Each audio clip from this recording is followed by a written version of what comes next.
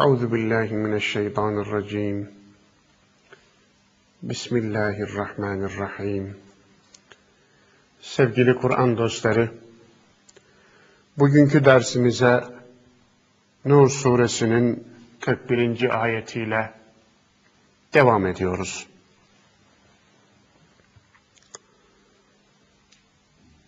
ألم تر أن الله يسبح له من في السماوات والأرض tayru saffat.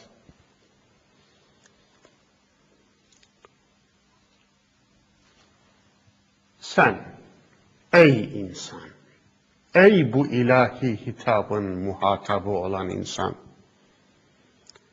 göklerde ve yerde bulunan her bir varlığın, kanat çırpan kuş katerlerine varana dek Allah'ın yüce kudretini dillendirdiğini fark etmez misin?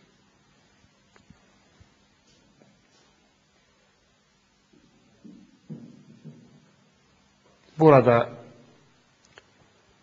Allah'tan bağımsız bir varlık tabakası ve varlık alanı bulunmadığı ilahi lisanla dile getiriliyor. Canlı, cansız diye ayırdığınız bütün varlıklar ona işaret ederler. Bütün varlıklar bir parmaktırlar. Allah'ı gösteren birer parmak bütün varlıklar bir sanattır. Sanatkarına işaret ederler. Kuş katarları bile, saf saf dizilmiş kuşlar bile Allah'ı tesbih ederler. Derken ayeti kerime aslında yüce olan Allah'ın yüceliğini ifade ederler varlıklarıyla gösterirler diyor, demek istiyor.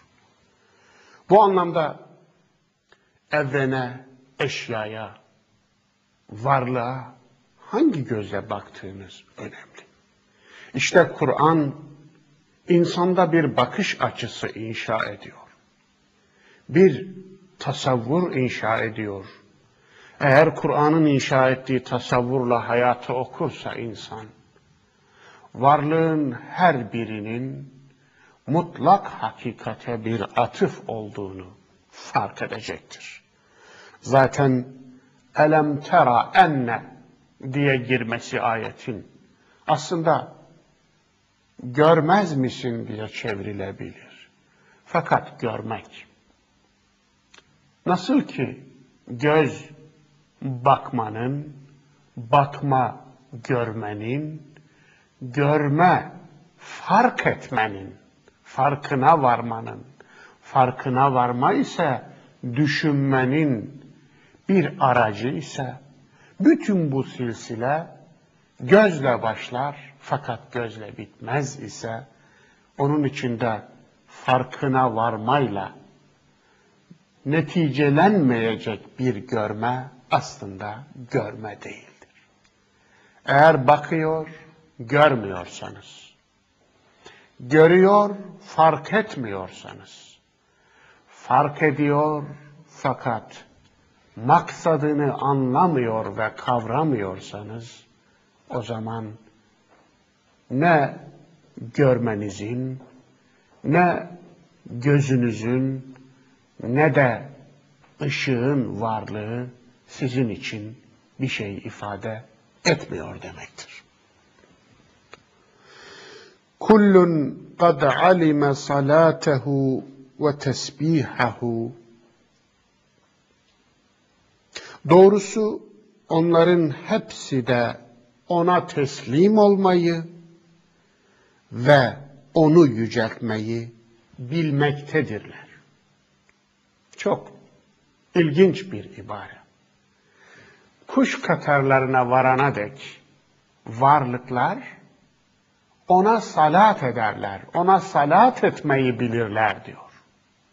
Biliyorsunuz salat, namaz anlamına kullanılan bir Kur'ani kavram. Yani bir yerde namaz kılarlar, kendi namazlarını. O zaman kuşların, kuş katarlarının, canlı cansız varlıkların namazı ne ola ki diye bir soru gelir akla. Bu soru çerçevesinde insanın namazını da anlamlandırabilmek için aslında salatın kelime kökeni olan salah sözcüğünün insanı dik tutan omurga anlamına geldiğini bilmemiz gerekiyor. Omurga insanın duruşunu temin eder. Yani insan omurgası sayesinde iki ayak üzerinde yürüyen, dik duran bir varlıktır. İnsanca bir duruş sergileyen bir varlıktır. Bu, buradan yola çıkarak aslında salatın Allah'a karşı varlığın esas duruşu veya klas duruşu olduğu sonucuna ulaşabiliriz. Tüm varlık Allah'a karşı esas duruşunu bozmuyor. Allah'ın koyduğu yerde duruyor. Allah'ın kendilerine verdiği görevi yapıyor. Kendileri için verilmiş olan role itirazsız teslim oluyor. Belki buradan yola çıkarak insana verilen öğüt de ey insanoğlu sen bu varlığın tepesinde yer alan şerefli bir varlıksın.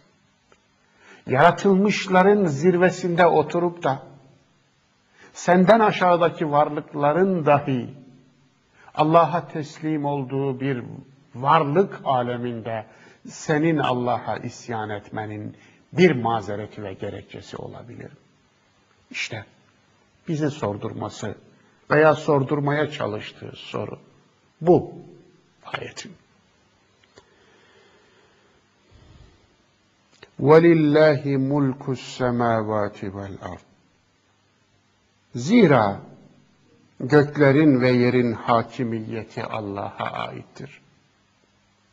Ve ilallahil masir. Ve nihai dönüşte yalnızca ve yalnızca Allah'adır. Yani ey insan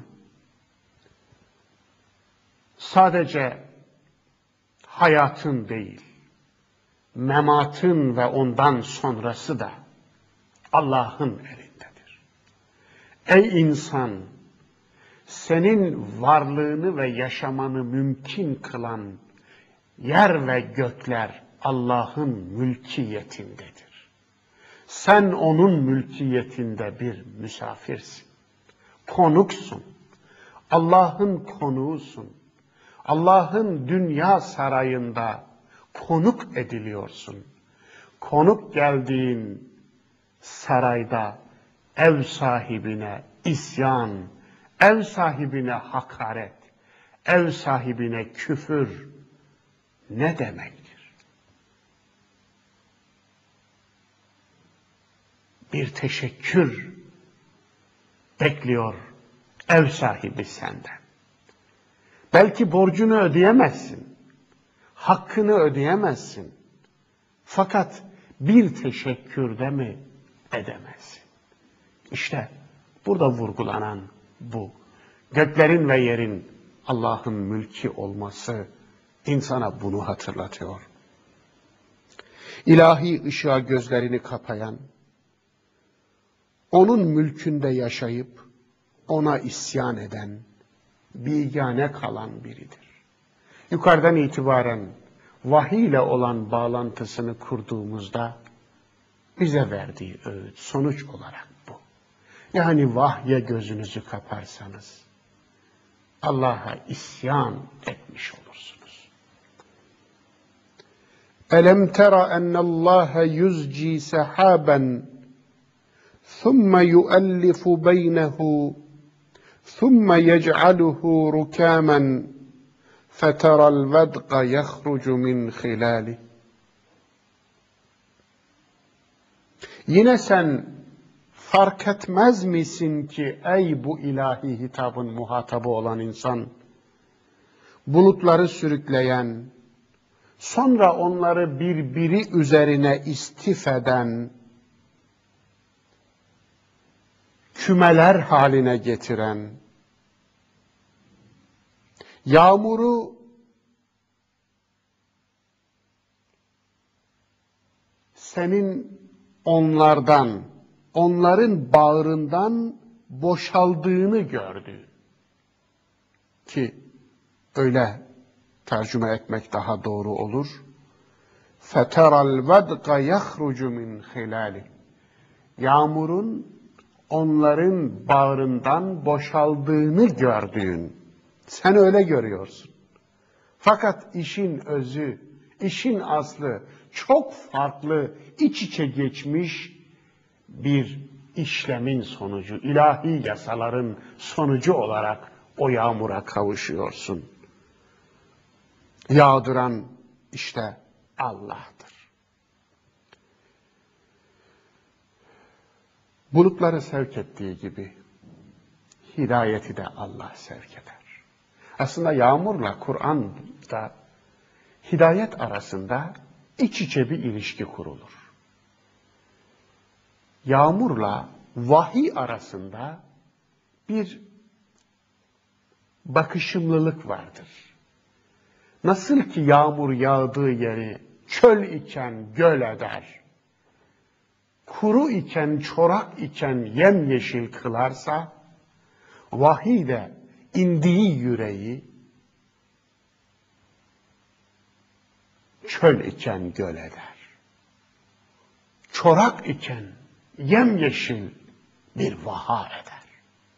Onun için Kur'an'ın başından sonuna kadar Kur'an'da geçen yağmur misalleri hep zımnen ilahi vahye ve o vahyin indiği yüreği, indiği toplumu, indiği coğrafyayı yeşillendirmesine bir atıf, bir ima içerir. وَيُنَزِّلُ مِنَ السَّمَاءِ مِنْ جِبَالٍ فِيهَا مِنْ بَرَدٍ فَيُصِيبُ بِهِ مَنْ يَشَاءُ وَيَصْرِفُهُ عَنْ مَنْ يَشَاءُ Yine gökten dolu yüklü bulut dağları indiren, peşinden dilediği kimseye onu isabet ettirip, dilediğinden de onu uzak tutan yine Allah'tır. Tabi hidayetle bağlantısını kuracak olursak bu misalin, hidayeti, bulut dağları, belki dolu dağları, dolu yüklü bulut dağları na benzetilen hidayetin burada kimi insan için inkar artırıcı, kimi insan için de iman artırıcı boyutu ima ediliyor gibi. Vahiy herkesin imanını artırmıyor. Bazılarının da inkarını artırıyor.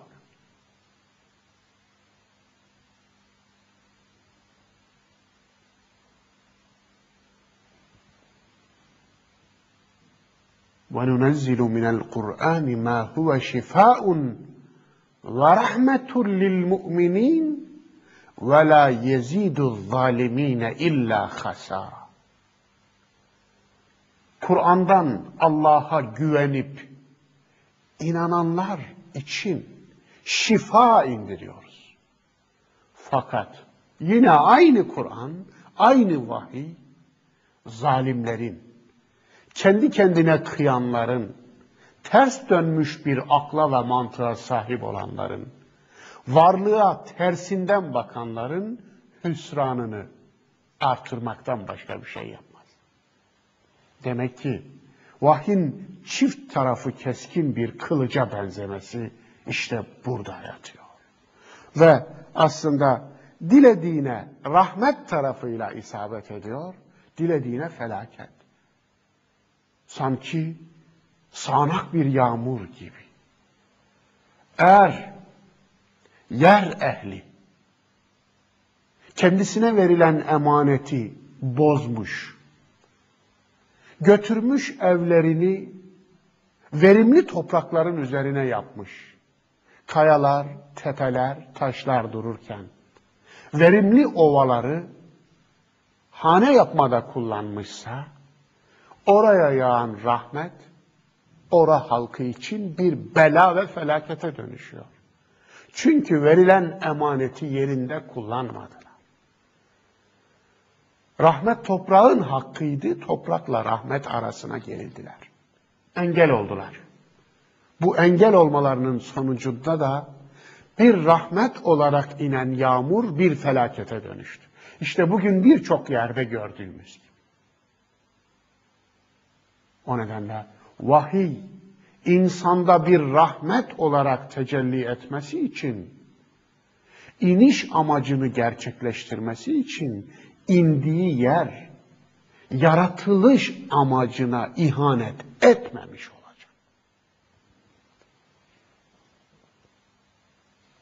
yekâdu senâ berqihi yezhebu bil ebsâr. Bir yandan da handiyse o bulutlardan çakan şimşeğin parıltısı gözleri almaktadır.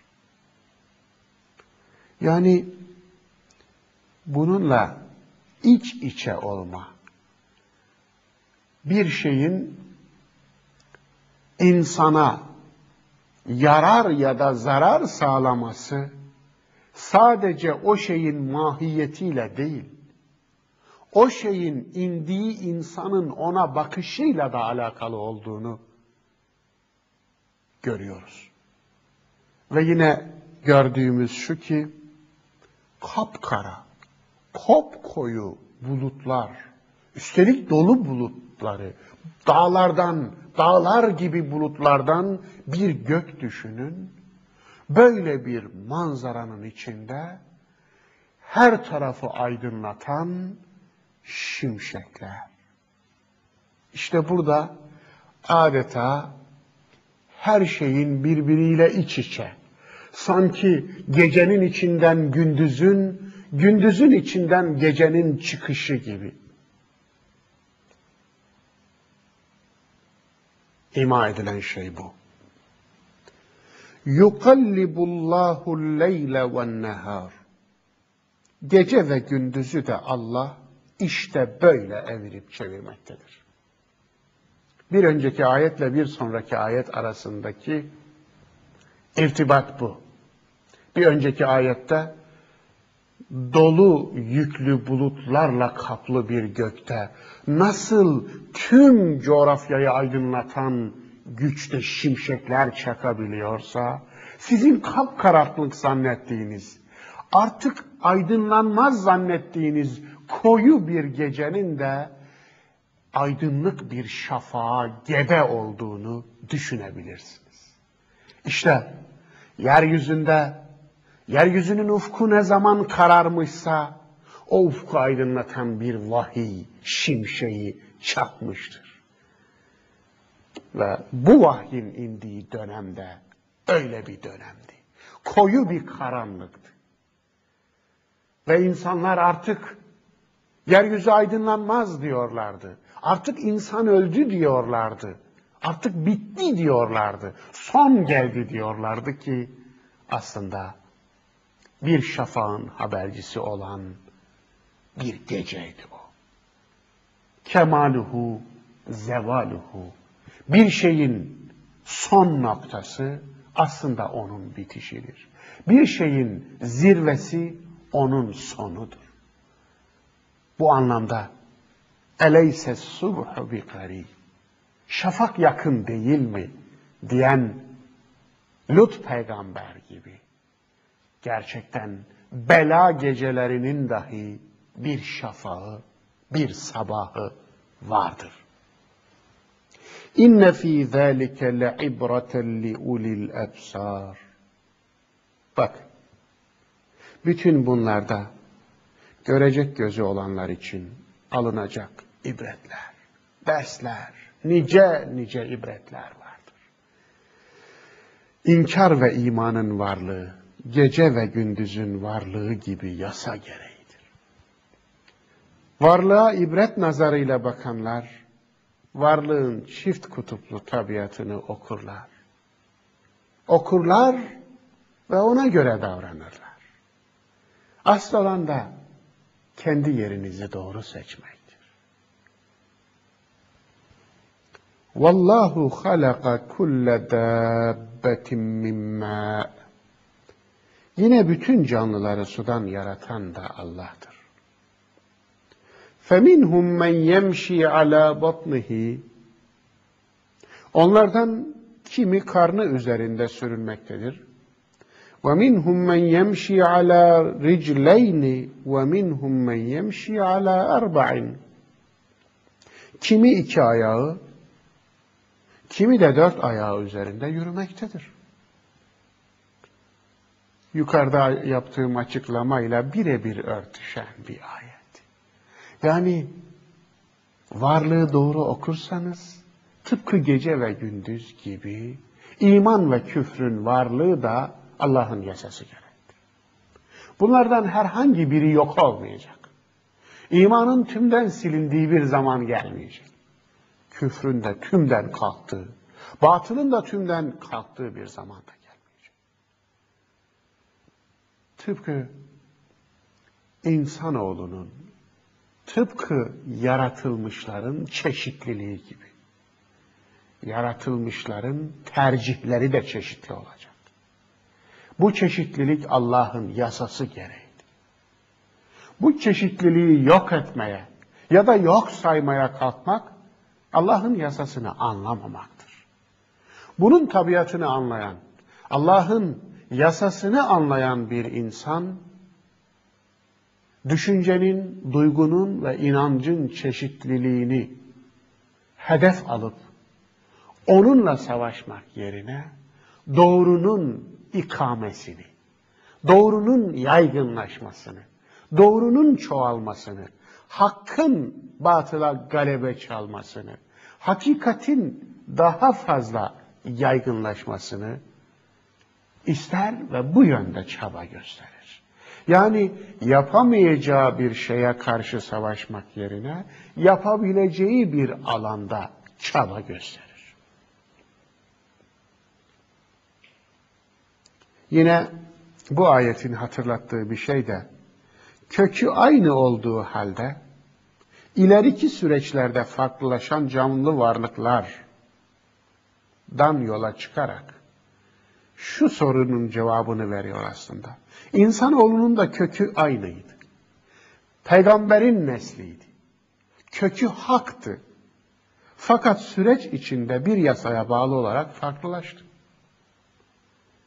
O nedenle burada adeta tüm canlı varlıkların kökeninin su olduğu, sudan olduğu ama daha sonra bu varlıkların çeşitlendiği gösterilerek İnsanoğlu da özü itibariyle, ilk yaratılışı itibariyle hak üzerinde olduğu, fakat ondan sonra çeşitlenerek farklı farklı yollar, yöntemler, inançlar benimsediğine bir atıf olabilir.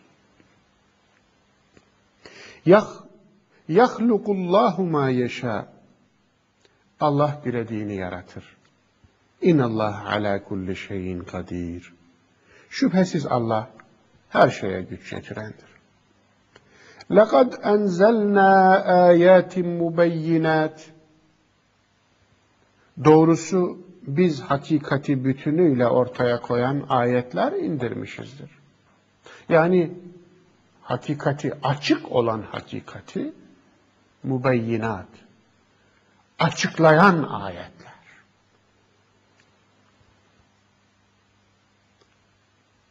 Allah zaten varlığı bir ayet olarak yarattı. Gök bir ayet, yer bir ayet, ay bir ayet, güneş bir ayet, insan bir ayet. Varlığın tamamı bir kitap. Bu kitabı okuyamayan ya da okumakta zorlananlara bir de tefsir et vahiyle. Bu varlık ayetini vahiyle tefsir edip insana al oku dedi. Bir de bu ayeti tefsir ettiği, bu ayeti tefsir edecek akıl verdi. Yani onu daha da ayrıntılandıracak bir de akıl verdi. Yani bundan sonra da hala anlamamakta direnen insanın ne mazereti vardır? Vallahu yehdi men yeşâ'u ila sıratun müstakim.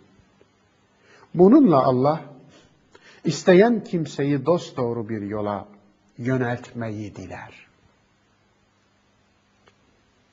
Vahiy Allah'ın doğru yola yöneltme iradesinin bir ifadesidir işte.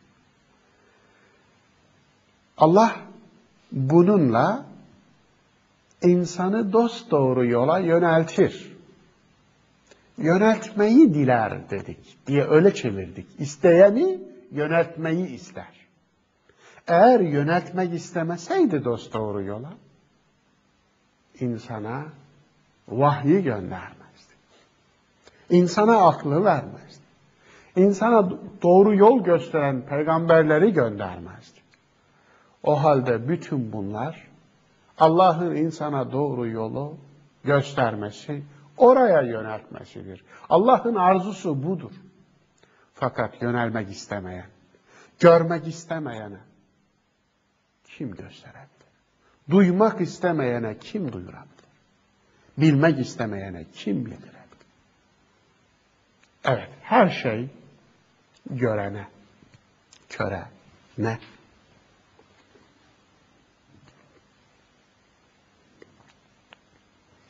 Ve bir rasûli ve eta'nâ thumme yetevellâ ferîkum minhum min ba'di zâlik.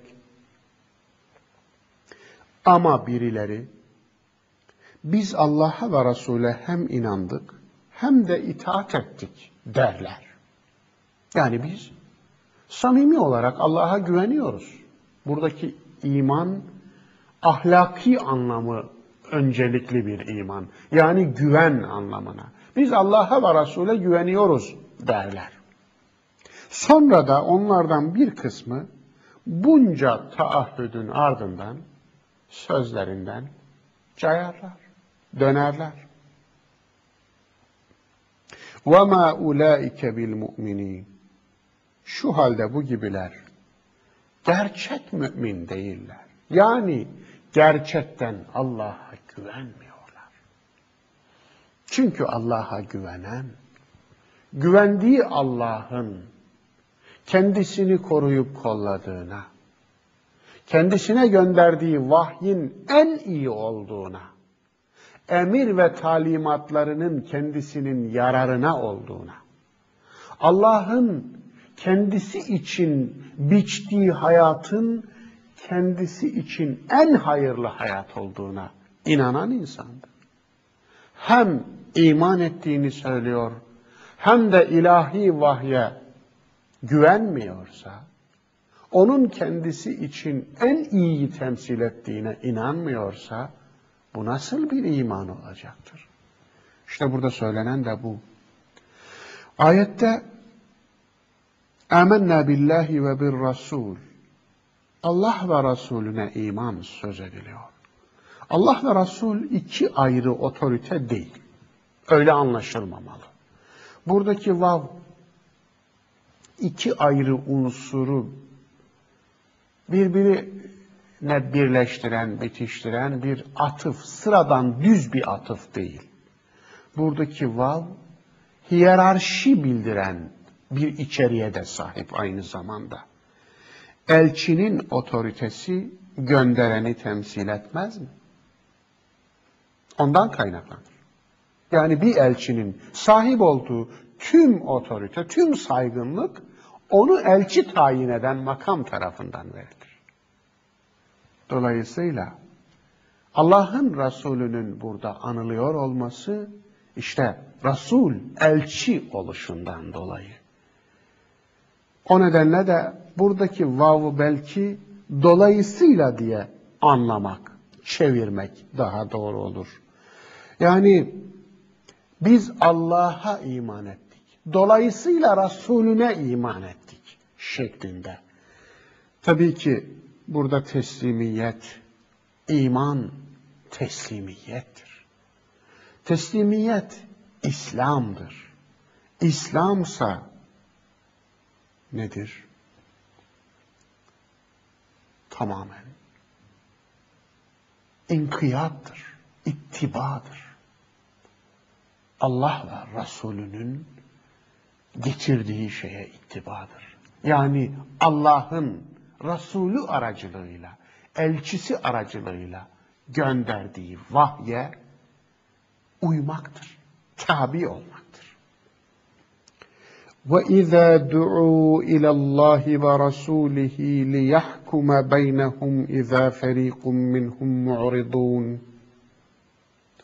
Zira onlar aralarında hüküm versin diye Allah'a ve onun Resulüne çağrıldıklarında hiç değilse bir kısmı hemen yüz çeviri verirler. Ve in yekun lehumul hakku ye'tu ileyhi muz'inin. Fakat eğer kendileri haklı çıkacak olursa, yani kendilerinin haklı çıkacağından emin olurlarsa, teslim olmuş bir edayla koşa koşa gelirler. Tam bir pazarlıklı iman manzarası. Ebu Leheb imanı yani. Nasıl bir şey bu? Bunu kaynaklarımızdan öğreniyoruz.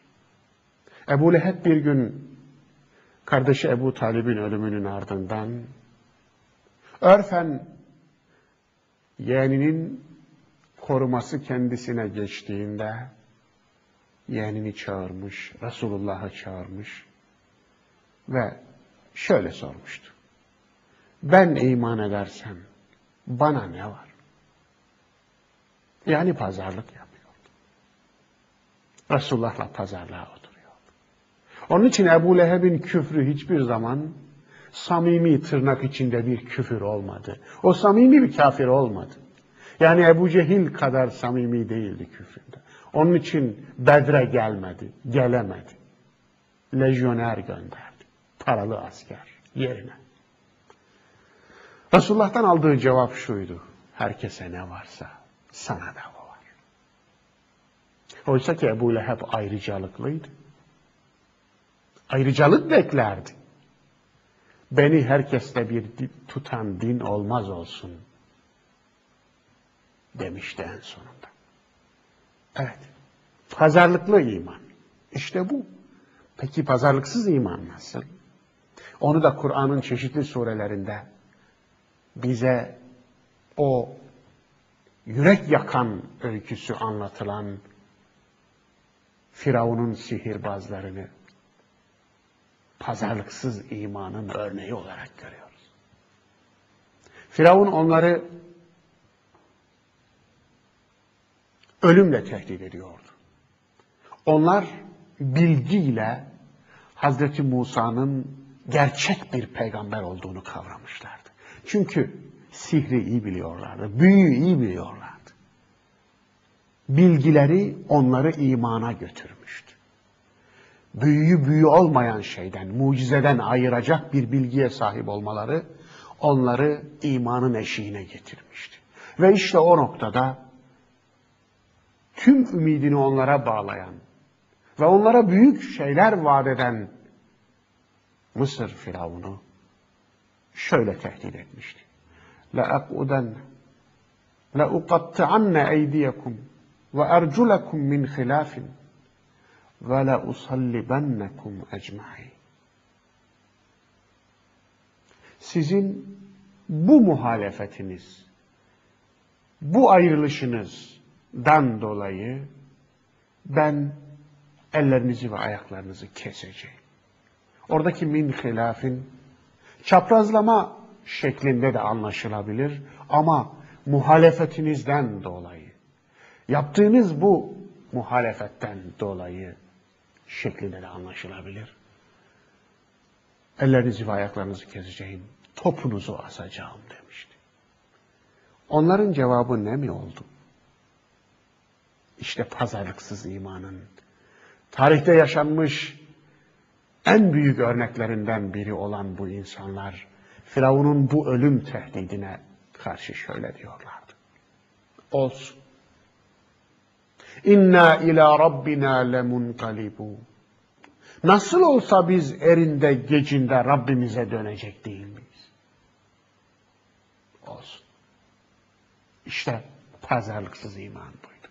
Hz. Musa'nın gözüne bakıp da hadi bakalım göster mucizeni demediler. Musa bir çıkış yolu bul demediler. Biz iman edeceğiz ama hayatımızı garantiye al demediler. Çünkü onlar ebedi bir hayatın önlerine açıldığına iman ettiler. İşte pazarlıksız iman buydu. Yani sinekler ve arılar. Bu ayette, bu iki ayette aslında arıların içine karışmış sineklerden söz ediliyor. Arıların içine sanki bal yapıyormuş gibi karışıp da aslında arıların yaptığı balı yiyen, onların sırtından geçinen sineklerden söz ediyor bu ayetler. اَف۪ي قُلُوبِهِمْ مَرَضٌ اَمْ اِرْتَابُوا اَمْ يَخَافُونَ اَنْ يَحِيفَ اللّٰهُ عَلَيْهِمْ وَرَسُولُهُ Şimdi sen söyle ey bu hitabın muhatabı. Yani bu tabi tırnak içinde bir açıklama. Böyle bir giriş zihnimizden böyle bir giriş tasarlamamız gerekiyor. Bu hitabı tam olarak kavrayabilmemiz için. Sen söyle ey bu hitabın muhatabı, bunların kalplerinde mi bir hastalık var? Yoksa kuşkuya mı kapılıyorlar? Yahut da Allah'ın dolayısıyla onun Resulünün kendilerine haksızlık yapmasından mı korkuyorlar? Hadi bakalım. Hangisi bunların? Bu tavırları nasıl izah edersin? Burada dikkat buyurursanız üç şey sayılıyor. Nifak, kalpte hastalık olma hali olan nifak. İkincisi kuşku, üçüncüsü de Allah ve Resulüne güvensizlik yani küfür. Fakat kuşku nifak ve küfür dışında bir kategori olarak ele alınıyor. Çok ilginç. Üzerinde durulması gereken bir nokta. İrtabu, ribe, rayb kökünden gelir korkulu kuşku demektir. Şek, yakinin zıttıdır. Şekten farklı olarak bu, yani inkari kuşku, şek sözcüğüyle ifade edilir. Raib ise korkulu kuşku. Nasıl bir kuşku? Ya kuşkumda haksız çıkarsam. Ben kuşkuluyum ama ya ben haksızsam, ya o doğruysa, ya öyleyse diye içinde derinlerde bir korku duymak. Yani içinde inanmaya yatkınlık olan bir kuşku bu. Bu tip kuşkular, buna benzer kuşkulardan bir kezinde kendisine söz açılınca Resulullah sonucu imanla noktalanan kuşkular için şöyle buyurmuştu. ذَٰلِكَ sarihul iman. Bu imanın ortaya çıkmasıdır. Veya açık bir imandır. Manasına. Müslim'in iman kitabının yanlış hatırlamıyorsam 109 hadisi olacak. Yani kuşku nasıl imanın açığa çıkması? Çünkü insanı imana götürüyorsa eğer bir kuşku, o imanı arabasının yakıtı mesabesinde olur.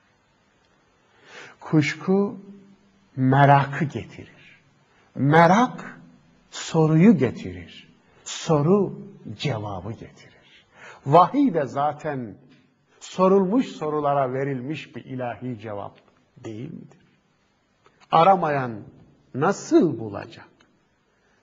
Onun için kuşku insanı arayışa, hakikatin peşine düşürüyorsa o imanla noktalanan bir kuşku olacaktır.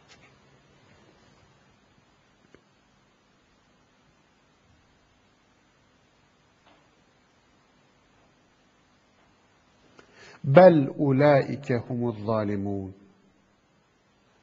Hani bir önceki ibarede Allah ve Resulünün, Allah'ın dolayısıyla Resulünün kendilerine haksızlık yapmasından korkuyorlardı ya.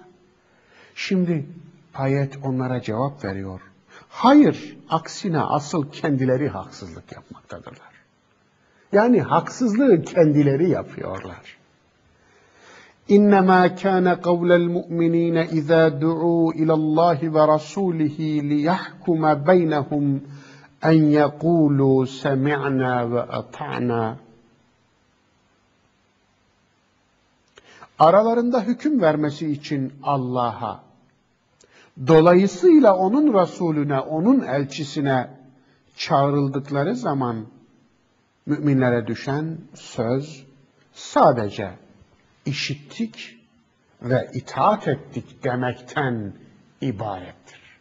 Yani bir mümin Allah'a dolayısıyla onun elçisine çağrıldığında, itaate çağrıldığında ona düşen bir tek şey var.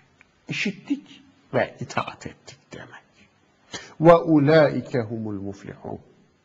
Zira böyleleri gerçek kurtuluşa eren kimselerdir. Allah'tan bağımsız bir kurtuluş tasavvuru yoktur. Öncelikle ayetin son cümlesinin söylediği şey bu. Ama ondan önceki cümlenin söylediği başka şeyler de var. Bakara suresinin 284. ayetini hatırlayalım. Ve in tubdu ma fi enfusikum ev tuhfuhu yuhasibkum bihillah. Bakara 284 ayetinde yer alan bu cümlede siz içinizdekini açıklasanız da gizleseniz de Allah sizi onlardan sorgular. Sorguya çeker. İbaresi ayeti geldikten sonra sahabeden bir kesim vahyi ne kadar ciddiye aldıklarının bir göstergesi olarak vahyin her kelimesi üzerinde, her cümlesi üzerinde hayatımıza bunu nasıl koyarız diye düşünmelerinin bir sonucu olarak gözyaşları içinde Resulullah'a başvurmuşlardı. Ya Resulallah şimdiye kadar malımızdan vermemiz istendi verdik. Canımızdan vermemiz istendi, cihad ile verdik. Fakat şimdi üstesinden gelemeyeceğimiz bir yükün üzerimize oturduğunu görüyoruz. O da elimizde olmayan, gönlümüzden, içimizden geçenlerden de sorguya çekileceğimiz. Biz bunu beceremeyiz. Biz nasıl yapalım? diye vahye olan ciddi duruşlarını bir kez daha ifade etmişler. Resulullah onlara dönüp Hal tekulune kema kalu benu İsrail. Siz de İsrail oğullarının dediği gibi semi'na ve asayna işittik ve isyan ettik mi diyorsunuz? Bel kulu semi'na ve ata'na gufraneke rabbena ve ileykel masir. Hayır öyle yapmayın. Aksine şöyle deyin. Biz işittik ya Rabbi. İtaat ettik. Ama itaatimizdeki tüm kusurlardan dolayı da senin engin bağışına, sınırsız bağışına sığınırız. Sonuçta zaten dönüş sanadır değil. Buyurmuştu.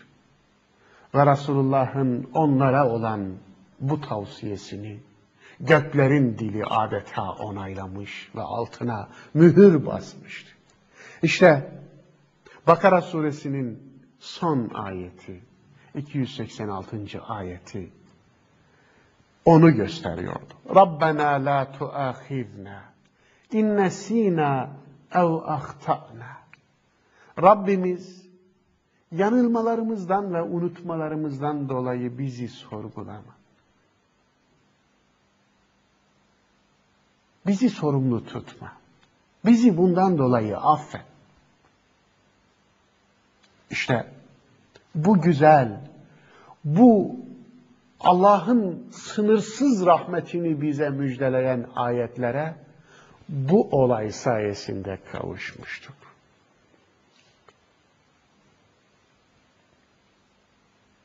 وَمَنْ يُطَعِ اللّٰهَ وَرَسُولَهُ وَيَخْشَ اللّٰهَ وَيَتَّقْهِ فَاُولَٰئِكَ هُمُ الْفَائِزُونَ Ve kim Allah'a, dolayısıyla onun Resulüne itaat eder ve Allah'tan korkup yine Allah'a karşı sorumluluk bilinciyle hareket ederse, işte onlar gerçek başarıya eren kimseler olacaklar. Evet, Kur'an muhatabında başarı tasavvuru inşa ediyor burada da. Başarı ne demek? Başarısızlık ne demek? Kim ne yaparsa başarılı olmuş olur. Allah'ın başarı tarifi nasıldır ey insanoğlu? Sen kendin için bir başarı tanımı yapıyorsun. Fakat bu tanım Allah'ın tanımıyla uyuşuyor. İşte bak vahye, Allah'ın başarı dediği şeyin başarı olduğuna inan. Kendine özgü bir başarı tanımı yapmaya kalkma. Bazen Allah'ın başarı dediğine sen başarısızlık, Allah'ın başarısızlık dediğine ise sen başarı diyorsun. Yani Allah'ın tanımlarıyla senin, senin tanımların kapışmasın, çatışmasın, çatışsın. Mutluluk onun peşinden gelir. Ve aksemû billahi cehde eymanihim لَاِنْ اَمَرْتَهُمْ لَيَخْرُجُنَّ قُلْ لَا تُقْسِمُوا Bir de kendilerine emredecek olsan, mutlaka savaş için sefere çıkacaklarına dair var güçleriyle yemin edenlere de ki, yemin etmeyin. Yani içinizin söylediğini diliniz tersini söylüyor. Bari yemin etmeyin. Yani yalan söylüyorsunuz. Yalanınızı bir de Allah'a alet edin. Allah'ı yalanınıza alet edin. Allah'ı şahit tutarak söylemeyin şu yalanı. Burada söylenen bu tabii ki. Taatun ma'rufetun. Bu ibare çok daha anahtar bir ibare. İtaat herkesçe bilinen ortak iyiyedir. İki yüzlü aklın hastalığına bir atıf yapıyor bu ayet. İyi olmayı onu emredene iyilik sanma ahmaklığı. Yani size biri iyilik emrediyor, iyiyi emrediyor. Siz peki iyi olayım senin hatırına şeklinde yaklaşıyorsunuz. Bu ahmakça bir Oysa ki iyilik iyi olduğu için yapılır. Ve iyi yapmanın en büyük yararı onu yapanın kendisinedir. Onun için de burada taatun ma'rufetun. İtaat herkesçe bilinen ortak iyiyedir. Yani aklın, aklı selimin, sağduyunun, temiz fıtratın iyi kabul ettiği şeye çağrılıyorsunuz. Yani bir peygamber ya da tüm peygamberler bunun dışında bir şeye çağırmazlar ki. Aslında sizi size çağırıyor peygamberler. Sizi mutluluğa çağırıyor. Yani bu çağrıdan dolayı elde edilecek mutluluğu peygamberler kullanmayacak. Siz kullanacaksınız. E kalkıp da Allah'ı minnet altına almanın, peygamberi minnet altına almanın, lütfen inanıyorum gibi tavırlara girmenin ne alemi var?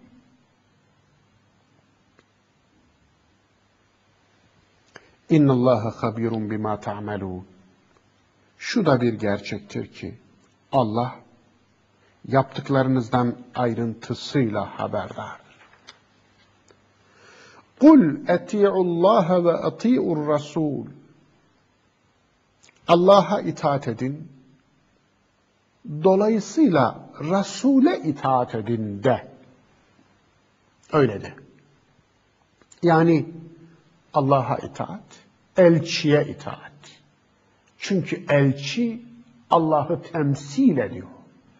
Yani temsilden kasıt burada tırnak içinde kullandım bunu. Elçi kendisini elçi gönderenden alıyor yetkisini. Elçiye zeval olmaz.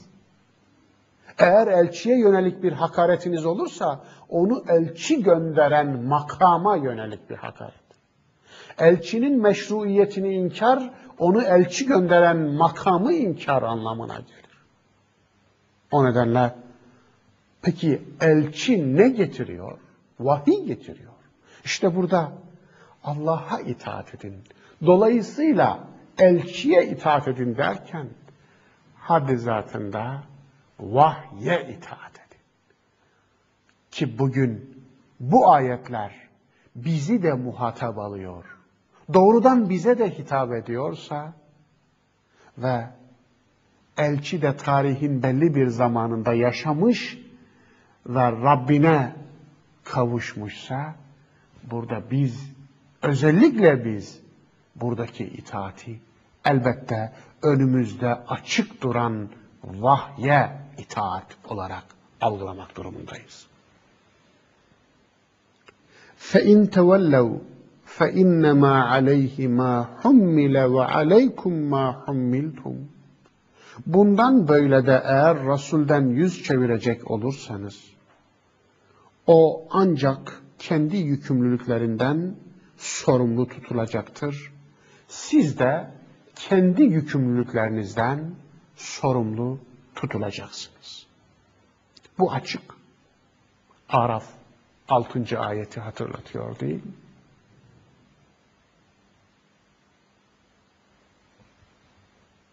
وَلَنَسْأَلَنَّ الَّذ۪ينَ اُرْسِلَ اِلَيْهِمْ وَلَنَسْأَلَنَّ الْمُرْسَلِينَ And olsun, yemin olsun ki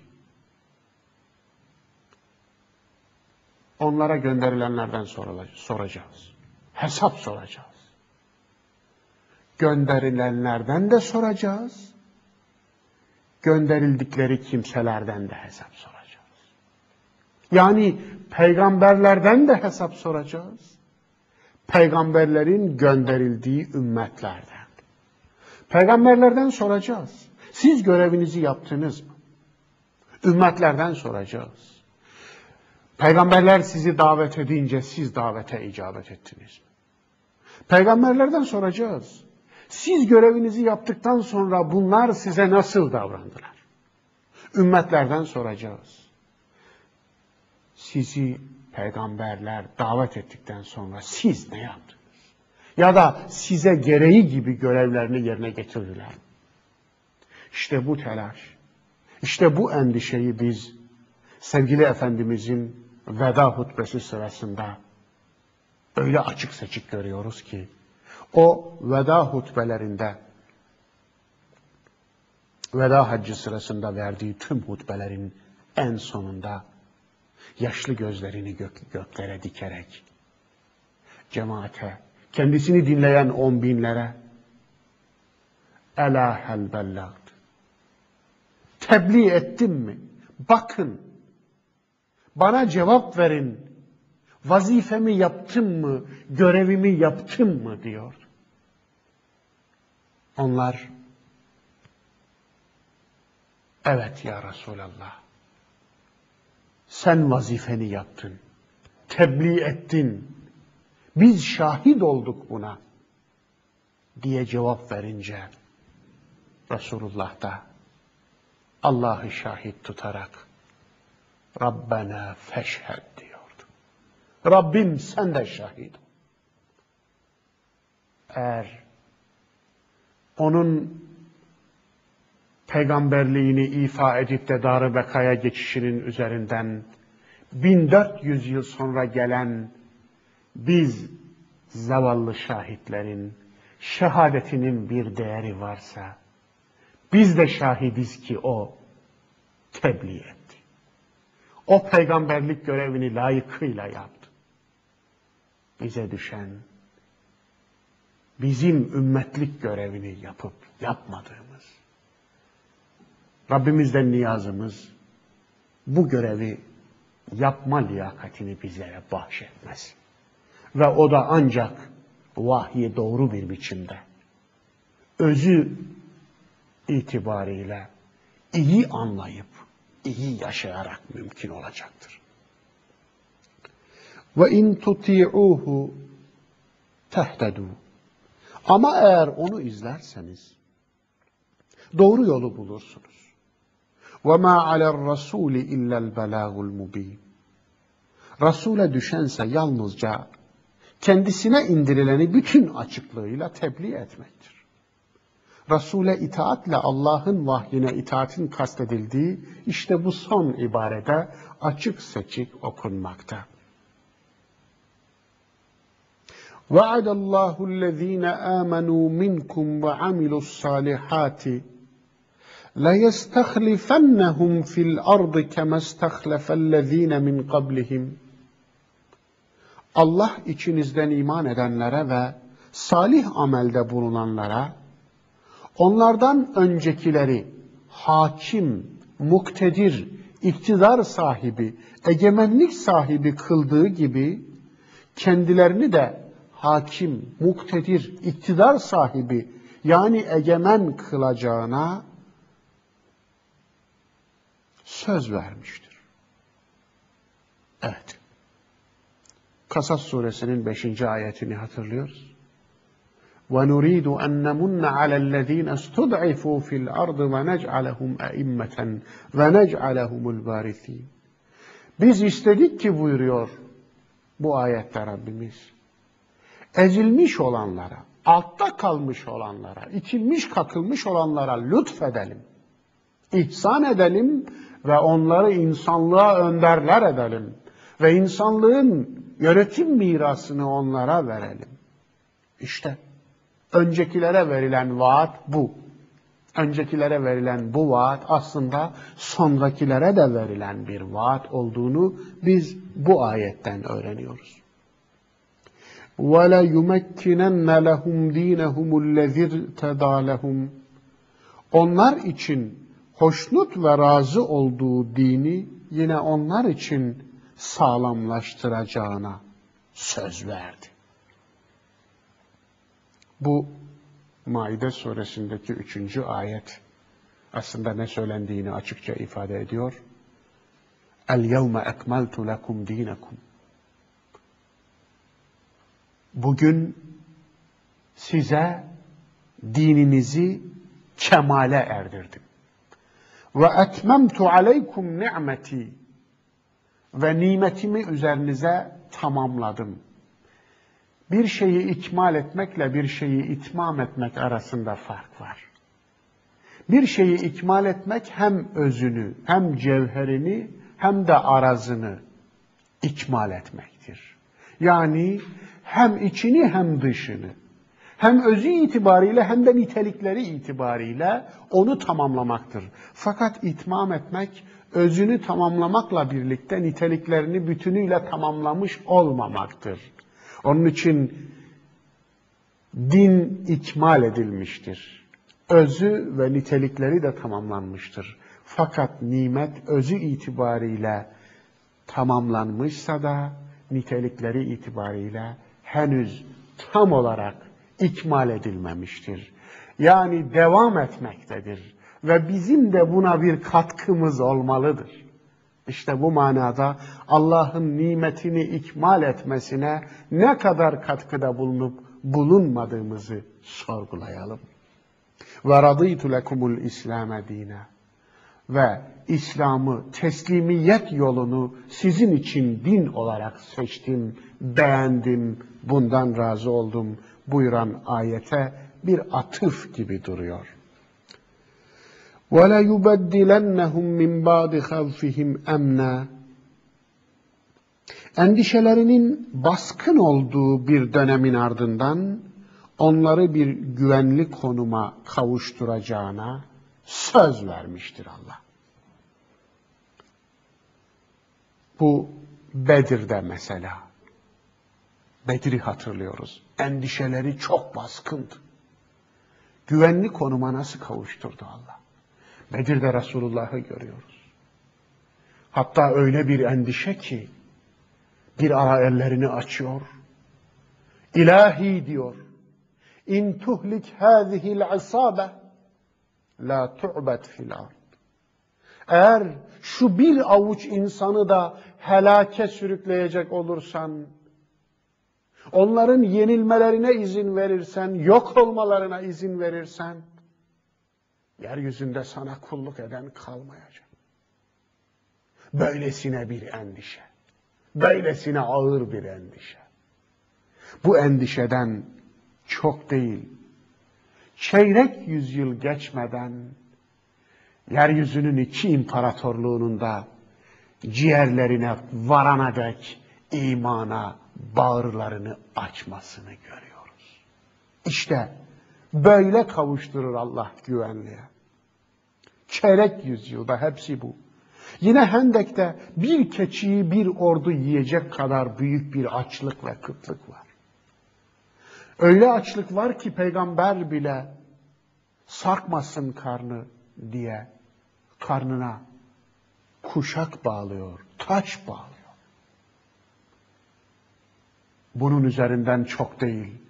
Daha bir çeyrek yüzyıl geçmeden büyük imparatorların hazineleri İslam beldesinin merkezine akıyor. İşte böyle kavuşturur Allah güvene. Ya'buduneni la yüşrikune bi şey'e. Değil mi ki onlar bana kulluk ediyorlar ve bana hiçbir şeyi ortak koşmuyorlar? وَمَنْ كَفَرَ بَعْدَ ذَٰلِكَ فَاُولَٰئِكَ هُمُ الْفَاسِقُونَ Fakat kim de bunun ardından inkara saplanırsa, işte onlardır asıl yoldan sapmış olanlar. Ve akimus salate. Şu halde namazı kılın. Ve atuz zekate. Arınmak için vermeniz gereken neyse onu verin. Ve ati'ur rasule leallekum turhamun. Ve elçiyi izleyin ki merhamete mazhar olmayı umut edebilesiniz. La tahsebennellezine keferu mu'cizine fil ard. İnkarda ısrar eden kimseler asla bu dünyada Allah'ı atlatabileceklerini sanmasınlar. Yamuk bir Allah tasavvuruna dikkat çekiyor. Atlatılabilecek bir Allah inancı. Nasıl bir inanç? Yani Allah'ı atlatır. Onun için bu yamuk tasavvura bir sille savuruyor bu ayet aslında. Böyle bir inanca sahiplerse kendilerini aldatırlar. Çünkü Allah'ı aldatamazlar. Atlatamazlar. O Rab'dır. Her an görüp gözetmededir. Koruyup kollamadadır. Onun her şeyi gören, her şeyi bilen olduğuna iman etmeyen biri Allah'a iman etmiş olur mu? Gereği gibi iman etmiş olur mu? وَمَأْوَاهُمُ النَّارِ Onların dönüp dolaşıp varacakları yer ateştir. Vele bi'sel. Ki o ne berbat bir son duraktır. Şimdi sure yepyeni bir konuya giriyor burada. Bu yeni pasajda 27. ve 29. ayetler arasında ele alınan özel hayatın dokunulmazlığına sözü getiriyor ve mahremiyet konusunu yeniden ele alıyor. Ya eyyühellezine amenu ey iman edenler لِيَسْتَأْذِنْكُمُ الَّذ۪ينَ مَلَكَتْ اَيْمَانُكُمْ وَالَّذ۪ينَ لَمْ يَبْلُغُوا الْحُلُمَ مِنْكُمْ ثَلَاثَ مَرَّاتٍ Emriniz altında bulunan kimseler ve içinizden ergenlik çağına ermemiş olanlar dahi günün şu üç vaktinde yanınıza girmeden önce sizden izin istesinler. Biraz önce de vurguladığım gibi 31. ayette mahremler arasında sayılan bu iki zümre burada mahremler arasında olmasına rağmen kendilerine yasak bir alanla karşı karşıyalar. Onun için ayette olmadığı halde dahi açıklamasını gerekli görüyorum. Yani bunlar mahremler arasında sayılan iki zümreydi 31. ayette. Fakat bunlara dahi kapalı bir mahremiyet alanı var insanın, kişinin. İşte burada o dile getiriliyor. Min kabli salatil fecr. Sabah namazından önce. Ve hine teda'une thiyabekum minez zahira. Öğleyin elbiselerinizi çıkarıp istirahate çekildiğiniz vakit ve min ba'di salatil işa ve yatsı namazından sonra. Selâse avratin lekum.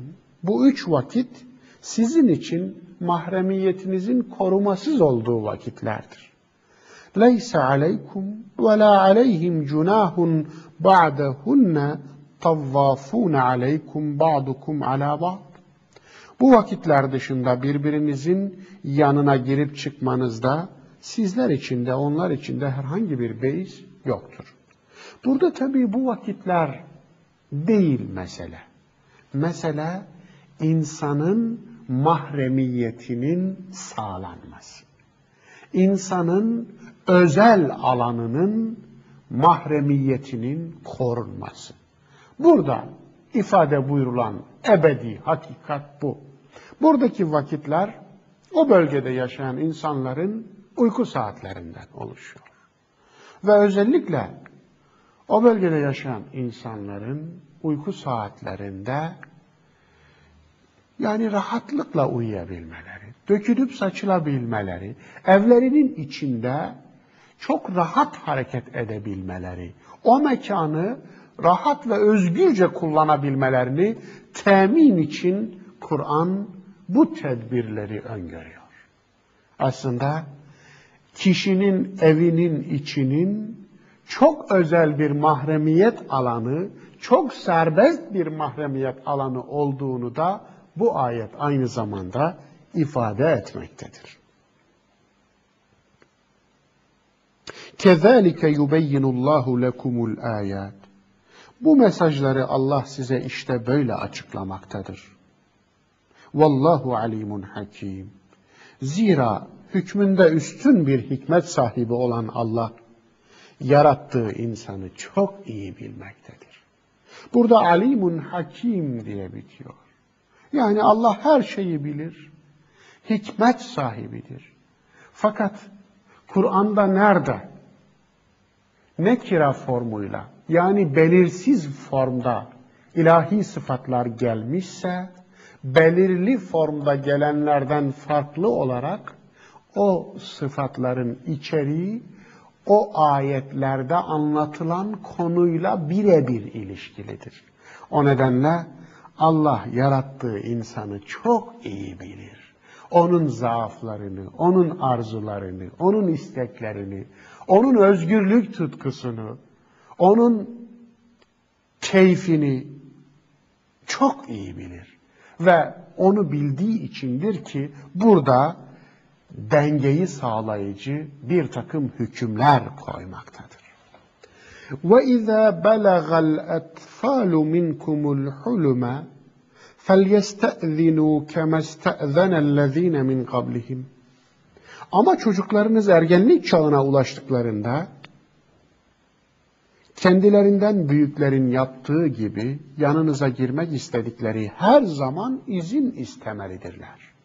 Yani yukarıdakinden daha farklı bir durumda. Yukarıdaki ergenlik çağına ulaşmamış dahi olsalar, mümeyyiz bir çağda iseler, yani eğer bebelik çağını aşmış iseler, akılları eriyor ise onlara bile kapalı bir özel alan var.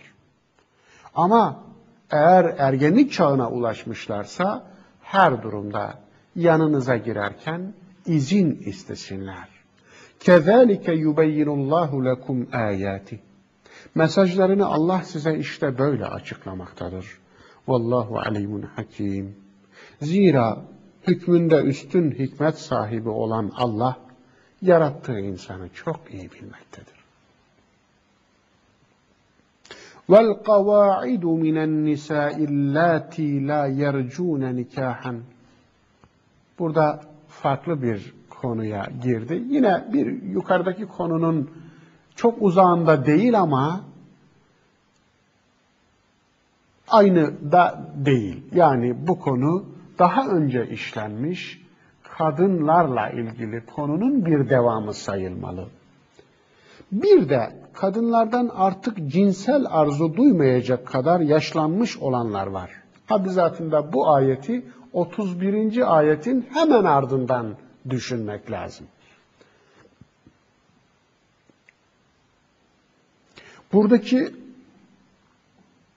thiyâbehunne ibaresini Übey bin Kâb min thiyâbihinne okumuş. Tercihimiz bu. Yani thiyâbehunne elbiselerini anlamına gelir. Min thiyâbihinne elbiselerinden bir kısmını anlamına gelir. Ki zaten e, her nasıl okursak okuyalım demek istediğim manayı öyle vermemiz gerekecek. Çünkü onu söylemek istiyor ayet-i kerime. İlk otoriteler ne kadarını çıkarabileceği yaşlı kadınların artık cinsel arzu duymaktan geçmiş olan yaşlı kadınların örtülerinin, elbiselerinin ne kadarını çıkarabileceği konusunda farklı yorumlar yapmışlar. Süddi bunu başörtüsü, bununla başörtüsünün kastettiği, kastedildiği yorumunu yapmış. Ve en yesta'fifne hayrun lehunne. Ama iffetleri üzerinde titrerlerse bu kendileri için daha hayırlı olur. Yani bu onlara bir izindir.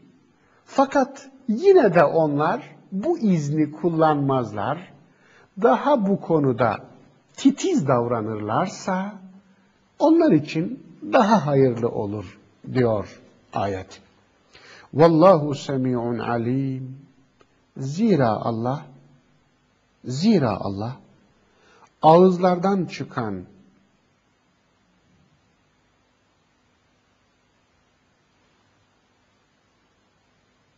ağızlardan çıkan her şeyi işitir, kalplerde olan her şeyi bilir.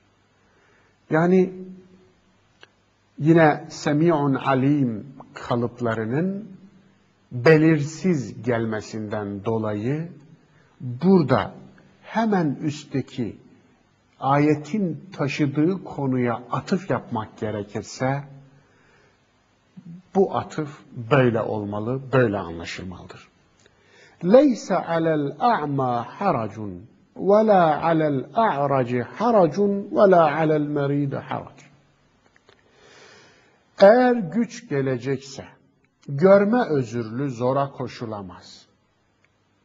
İşitme özürlü, yürüme özürlü zora koşulamaz. Hasta zora koşulamaz. Yani bu ayet bu ibaresiyle özürlü ve hasta haklarıyla ilgili bir ayet. Veciz bir ayet aynı zamanda. Eksiltili bir dil kullanılmış. Onun için de başına mutlaka bir giriş cümlesi takdir etmemiz gerekiyor. O giriş cümlesini biz eğer güç gelecekse şeklinde takdir ettik. Ama bunu farklı otoriteler çok farklı takdirlerde bulunuyorlar. Farklı yorumlara yol açmış. Bizce bu ibare dinin emirlerinin mümkünle sınırlı olduğunu, kimseye gücünün üstünde bir yük yüklenmediğini açıkça ifade eden ve tabii ki özürlülerin özel haklarını koruyan ve onların dikkate alınmasını isteyen, onların mazeretlerinin, özel mazeretlerinin kendilerine özel haklar doğuracağını ima eden bir ayet. وَلَا عَلَى أَنْفُسِكُمْ أَنْ تَأْكُلُوا مِنْ بُيُوتِكُمْ Ve aile bireyleri olarak sizin kendi evlerinizde. Ki bu aslında min buyutikum evlerinizde lafzen bu. Fakat burada kasıt aile bireylerinin kendi evlerini kullanmadaki serbestliğine bir dikkat çekiş. Ayet mümin toplumun hane dokunulmazlığıyla kan ve iman bağı arasında bir denge kuruyor. Yani hane dokunulmazlığıyla dostlukla akrabalık bağı arasında hassas bir denge korunması lazım. Bu denge nasıl korunacak? Bu konuda bir örnek ve ölçü veriyor. Ev buyuti abaikum ya da babalarınızın evlerinde, ev buyuti ummahatikum veya annelerinizin evlerinde, ev buyuti ihvanikum veya erkek kardeşlerinizin evlerinde, ev buyuti ahavatikum veya kız kardeşlerinizin evlerinde, ev buyuti a'mamikum veya amcalarınızın evlerinde, ev buyuti ammatikum veya halalarınızın evlerinde, ev buyuti ahvalikum veya dayılarınızın evlerinde, ev buyuti halatikum teyzelerinizin evlerinde, ev ma, mel, ev ma melektum mefatihahu ev sadiqikum anahtarları size teslim edilmiş olan yahut da arkadaşlarınıza ait olan evlerde yiyip içmenizde hiçbir sakınca yoktur. Leyse aleykum cunahun en te'kulu cemi'an ev eştaten Hep birlikte ya da ayrı ayrı yemenizde de bir beis yoktur. Yani aile dostları birlikte de ayrı ayrı da yiyebilirler. فَاِذَا دَخَلْتُمْ بُيُوتًا فَسَلِّمُوا عَلَى أَنْفُسِكُمْ تَحِيَّةً مِنْ عِنْدِ اللّٰهِ مُبَارَكَةً طَيِّبَةً Bundan böyle bir eve girdiğiniz zaman birbirinize Allah katından bir esenlik, bir bereket ve bir mutluluk dileğiyle selam verin. Buradaki şeyler anlatılan bu hususları daha iyi kavrama açısından belki iniş nedeniyle ilgili bir anekdotu nakletmekte yarar var. Yukarıdaki sınırlamalar, aile, kişi ve ev mahremiyeti dokunulmazlıklarıyla ilgili ayetler geldiğinde müminler o kadar titiz davranmışlar ki artık insanlar en yakınlarının evlerinden dahi yeme hususunda çekinir olmuşlar. Yani aslında vahyin ilk muhataplarının vahiy ile aralarındaki bu sıcak ilişkinin bir göstergesi. Nasıl vahye sarıldıklarının, vahyin emri karşısında nasıl esas duruş vaziyeti aldıklarının bir göstergesi bu. İşte onun üzerine yani bu hassasiyetlerinin akrabalık ve dostluk ilişkilerini zedelememesi gerektiğine ilişkin bir ayet geliyor. Kezalike yubeyyinullahu lekumul ayati leallekum ta'qilun. Allah bu mesajları size işte böyle açıklamaktadır ki belki akıllıca hareket edersiniz. Belki aklınızı kullanırsınız. Yani Allah'ın verdiği emirleri aslında burada zımnen böyle bir şey de var. Allah bir emri verince aklı bir tarafa ayırmayın. Yani akıl yokmuş gibi o emirle, o emri algılamaya kalkmayın. Unutmayın, sizin akıllı bir varlık olduğunuzu bilerek Allah düzenlemeler koyuyor, ilkeler koyuyor, Emir ve talimatlar veriyor. Bu talimatlara uyarken mutlaka yine aklınızı kullanın. Allah'ın ne dediğinden yola çıkarak ne demek istediğini de anlayın. Ve bu noktada makul olanı mutlaka tespit edin.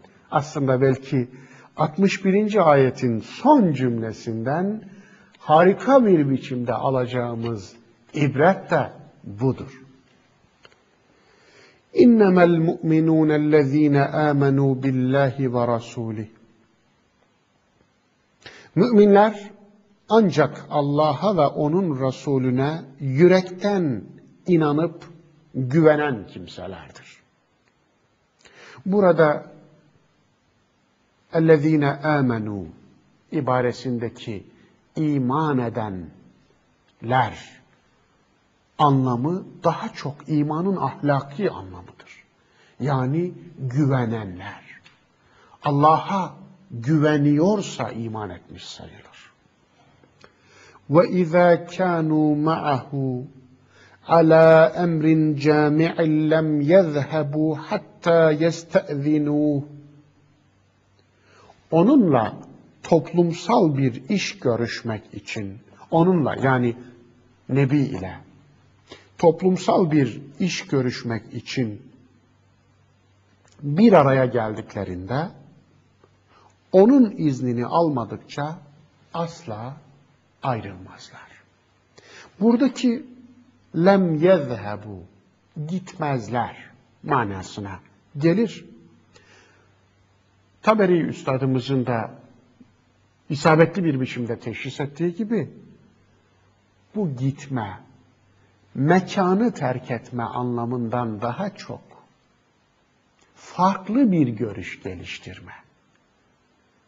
Toplumsal, sosyal politikadan daha farklı bir görüş geliştirme anlamına gelir ki zaten zehebe sadece bir yerden bir yere gitmeyi değil, bir görüşe varmak, bir görüşe sahip olmak, kendine özgü bir görüş geliştirmek anlamını taşır. Mezhep de buradan gelir onun için. Özgün bir görüş geliştirmek yani. Üzerinde uzlaşılan toplumsal politikadan farklı bir fikir geliştirme ifade ediliyor burada. Ondan izin almak. Demek ki yapıcı bir muhalefete de izin ima ediliyor. Yani Resulullah'ın içinde bulunduğu bir toplulukta genel olarak bir görüşe varılsa dahi eğer Resulullah'tan izin alınmışsa bu izin almanın mahiyeti nedir peki? O görüşün temelde Allah'ın vahyine dayanıp dayanmıyor oluş. Bu çok önemli. Peki biz bunun nereden çıkarıyoruz? Resulullah'ın sahabeyle arasındaki yaşanmış örneklerden. Mesela Berire olayı. Çok ünlü bir olaydır. Berire evli olduğu kocasıyla ilişkisini kesmişti. Kocası Resulullah'a gelip kendisiyle ilişkisini kesen, yani kendisini bir yerde boşayan eşi Berire'yi şikayet etmiş ve razı etmesini istemişti. Ya Resulallah sen söylersen belki döner. Ne olur benim için bir konuş, benim için bir ricada bulun demişti. Resulullah Berire'yi çağırdı. Durumu sordu. Evet doğrudur ya Resulallah. Kocana dön olmaz mı? buyurmuştu Resulullah. Berire eski bir köle hanımdı. Azatlı bir köle. Ya Resulallah vahiy geldi de onun üzerine mi bana bu talimatı veriyorsunuz? Yoksa bu sizin görüşünüz mü, arzunuz mu? Hayır vahiy gelmiş falan değil. Buyurunca dönmeyeceğim ya Resulallah buyurmuş. Resulullah da tebessümle mukabele etmişti. İşte izin bu. Yine ikinci bir olay daha görüyoruz. Bedir'de. Bedir ehli muharipleri arasında bulunan Hubab bin Münzir, Resulullah Bedir'de bir kuyunun yanını mevzi olarak gösterdiğinde, ordugah olarak gösterdiğinde, Ya Resulallah demişti, burayı ordugah olarak seçmenize, seçmeniz size emir mi edildi? Yani siz bu konuda Allah'tan bir işaret mi aldınız? Hayır demişti. Ben öyle münasip gördüm. O halde ya Resulallah biz savaşçı bir kavmiz. Burası uygun değil. Biz bunu biliriz yani nasıl bir mevzi alınması gerektiğini. Bizce şurası daha uygun. Eğer orasını mevzi alırsak tüm kuyuları arkamızda bırakmış oluruz. Dolayısıyla düşmanın suyunu kesmiş oluruz. Deyince Resulullah hiç ikilemeden onun görüşü istikametinde yeniden talimat vermişti. İşte izin almayı bu şekilde anlamak lazım ki bu da sadece Allah'tan vahiy alan bir peygamberin liderliğine has bir durumdur. Onun dışındakiler için ise böyle bir izin gerekmediği açıktır. Eğer yapıcı bir muhalefet, bir katkı söz konusuysa bu katkı zaten burada da açıkça ima edilmektedir. İnnellezîne yestezinûneke ulâikellezîne yu'minûne billâhi ve rasûlih. Şüphesiz senden farklı bir görüş geliştirmek için izin alan kimseler de Allah'a ve Resulüne yürekten inanan kimselerdir. فَاِذَا اسْتَأْذَنُوكَ لِبَعْضِ شَأْنِهِمْ فَأْذَنْ لِمَنْ شِئْتَ مِنْهُمْ İşte bu yüzden onlar senden bazı işler için izin isterlerse onlardan uygun gördüklerine sen de izin ver. وَاسْتَغْفِرْ لَهُمُ اللّٰهِ Allah'tan da onlar için mağfiret dile. İstişareyi emreden Uhud ertesi gelen ayette olduğu gibi فَبِمَا رَحْمَةٍ مِنَ اللّٰهِ لِنْتَ لَهُمْ ayetinde. Yani Allah'tan bir rahmet sayesinde sen onlara yumuşak kalpli davrandın. Eğer sert yapsaydın onlar etrafından dağılır giderlerdi. O zaman fa'fu anhum. Onları affet. Vestağfir lehum. Onlar için af dile. Ve şavirhum fil emr. Bundan böyle de onlarla danışmaya, istişareye devam et.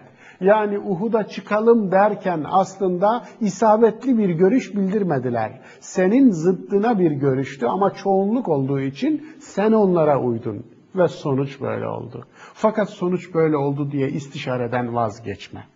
Bu ayeti hatırlıyoruz. İnna Allaha gafurur rahim. Şüphe yok ki Allah rahmeti bol bir bağışlayıcıdır. La tec'alû du'a'er rasûli beynekum ke du'ai ba'dikum ba'da. Elçinin davetini sakın birbiriniz arasındaki herhangi bir davet gibi algılamayın. Yani elçi sizi bir işe davet ederse, bir işe çağırırsa onu aranızdaki herhangi birinin çağrısı gibi algılamayın. Koşun ona. Yani o vahiy eseri olabilir, olma ihtimali çok yüksektir. قَدْ يَعْلَمُ اللّٰهُ الَّذ۪ينَ يَتَسَلَّلُونَ مِنْكُمْ لِوَاذًا Doğrusu Allah aranızdan kimselere sezdirmeden sıvışıp çıkmak isteyenleri biliyor. Yani aranızdan kimselere hissettirmeden sıvışmak isteyenleri biliyor. Yani Allah Resulü'nün çağrısına uymamak için böyle görünmeden ortadan kaybolmak, toz olmak isteyenler varmış demek. فَلْيَحْذَرِ الَّذ۪ينَ يُخَالِفُونَ عَنْ اَمْرِهِ اَنْ تُصِيبَهُمْ فِتْنَةٌ اَوْ يُصِيبَهُمْ عَذَابٌ اَلِيمٌ Öyle ise onun emrine karşı gelen kimseler Başlarına bu dünyada bir musibetin, ahirette ise can yakıcı bir azabın gelmesinden sakınsınlar.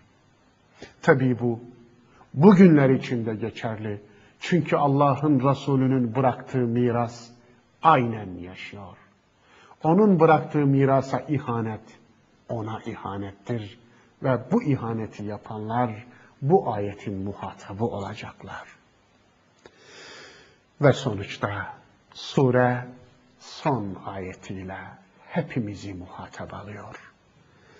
Ela inne lillahi ma fis semavati vel ard. Bakın ey insanlık. Ey bu hitabın muhatabı.